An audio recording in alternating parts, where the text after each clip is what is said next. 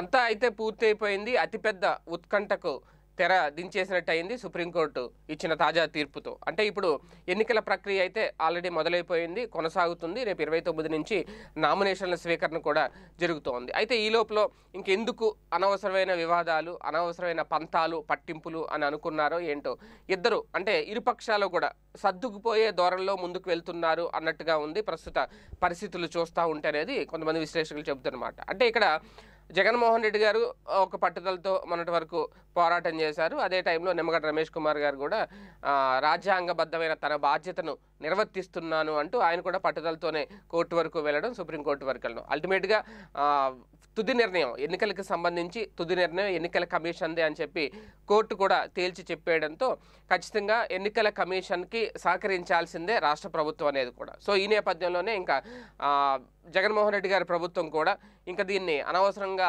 తెగే వరకు లాగడం ఎందుకు అనే ఉద్దేశంతో మరి వెనక్కి తగ్గారో లేదంటే వెనక్కి తగ్గారని అనకూడదు. సహకారం అందించడానికి సిద్ధమైంది ఎట్టకేలకు రాష్ట్ర ప్రభుత్వం. అంటే అదే అదే నేపథ్యంలో ఉన్నతాధికారుల మీద బదిలీ వేటుకు సంబంధించి ఏం జరుగుతుందని అనుకుంటే ఆ విషయంలో కూడా నిమ్మగడ్డ కూడా అక్కడ వెనక్కి తగ్గారా అనేది. అదే నేపథ్యంలో ఎన్నికల షెడ్యూల్కి సంబంధించి రీషెడ్యూల్ చేయడం ఒక నాలుగు రోజులు వెనక్కి తగ్గడం నిమ్మగడ్డ రమేష్ కుమార్ గారు. అలాగే ఇప్పుడున్న ఈ ఎన్నికల ప్రక్రియ నేపథ్యంలో ఉన్నతాధికారుల మీద వేటు వేయడం అనేది కూడా బదిలీ వేటు వేయడం అనేది సరైనది కాదు అంటూ నిమ్మగడ్డ రమేష్ కుమార్ గారు నిర్ణయం తీసుకోవడం. అదే టైంలో ఎన్నికల ప్రక్రియకు సంబంధించి ఏం చేయాలి అని చెప్పి సమాలోచనలు జరిపిన జగన్మోహన్ రెడ్డి గారి ప్రభుత్వం అధికారులతోనూ అలాగే కీలక మంత్రులతోనూ సమావేశం జరిపిన తర్వాత ఎన్నికలకు సహకరించాల్సిందే అని చెప్పి నిర్ణయం తీసుకోవడం. ఒక రకంగా అంటే పంచాయతీ ఎన్నికల్లో ఎస్సీసీకి సహకరించడానికి రాష్ట్ర ప్రభుత్వం సిద్ధమయ్యింది అనేది. అదే నేపథ్యంలో సుప్రీంకోర్టు నిర్ణయాన్ని కూడా గౌరవించక తప్పదు.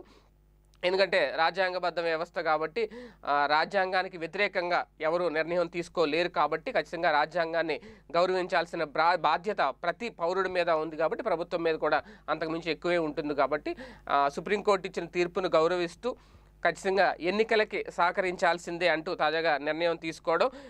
అంటే ఇక్కడ ఏంటంటే ఎవరో ఎవరి మీదో పై చేయి సాధించేయాలి ఏదో చేసేయాలని కాకుండా ఇక్కడ వ్యాక్సినేషన్ ప్రక్రియ గురించి ఆలోచించాం రోజులు వ్యాక్సినేషన్కి దీనికి ఎటువంటి ఇబ్బంది కలగకుండా రెండు ప్రక్రియలు కూడా సజావుగా సాగుతాయంటే మాకు కూడా అభ్యంతరం లేదు. ఎందుకంటే ప్రజారోగ్యం కోసం ప్రభుత్వం చివరి వరకు పోరాడింది అనేది ప్రభుత్వం చెప్పుకుంటుంది.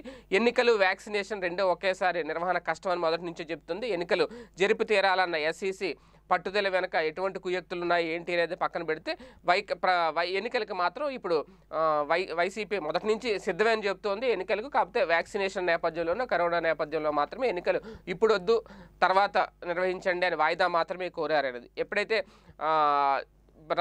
సుప్రీంకోర్టు ఎన్నికలు నిర్వహించాల్సిందని చెప్పింది. సుప్రీంకోర్టు నిర్ణయాన్ని గౌరవిస్తూ ఇప్పుడు ఎన్నికలకి ముందుకు వెళ్తున్నారు. మొత్తానికి ఇద్దరు సర్దుకుపోయి ముందుకు వెళ్ళి ఎన్నికలు నిర్వహించాలి అనేది. ఇక ఫైనల్గా రాజకీయ పార్టీలదే ఇప్పుడు ఎవరు విజయం సాధిస్తారు? ఎవరు ఎంతవరకు తమకున్న అంటే ప్రజల్లో ఒక రకంగా రాష్ట్ర ప్రభుత్వానికి ఈ రెండేళ్ళ పరిపాలనకు సంబంధించి ప్రజలు ఇచ్చే తీర్పుగా అలాగే ప్రతిపక్షానికి ఒకవేళ ప్రభుత్వం మీద ఏమన్నా వ్యతిరేకత ఉంటే ప్రతిపక్షానికి ఎటువంటి తీర్పిస్తారు ప్రజలు అనేది ఇప్పుడు ఇంకా వేచి చూడాల్సిన అంశం. ఈ వీడియో గనక మీకు నచ్చినట్లయితే లైక్ చేయండి షేర్ చేయండి. మరిన్ని వీడియోస్ కోసం మా ఛానల్ను సబ్స్క్రైబ్ చేయండి.